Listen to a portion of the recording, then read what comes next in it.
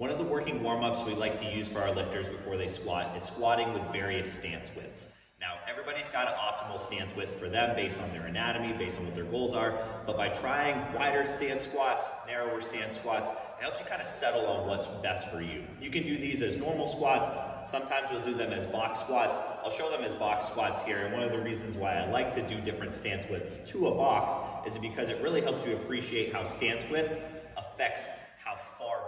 your hips need to move. So if I'm setting up the box squat, and I'm aiming to use a wider stance, so wider than what I would normally do, this is gonna help me understand how to move my hips backwards more. So a wider stance, generally you're gonna push your hips back more, more of your hamstrings are gonna end up on the box as you squat, and that's gonna help you learn to keep that bar over your midfoot.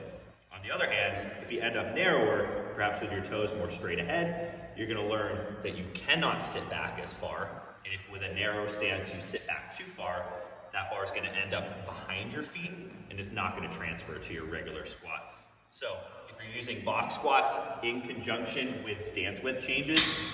understand that a wider stance, you're going to sit back more, narrower stance, you're not to sit back.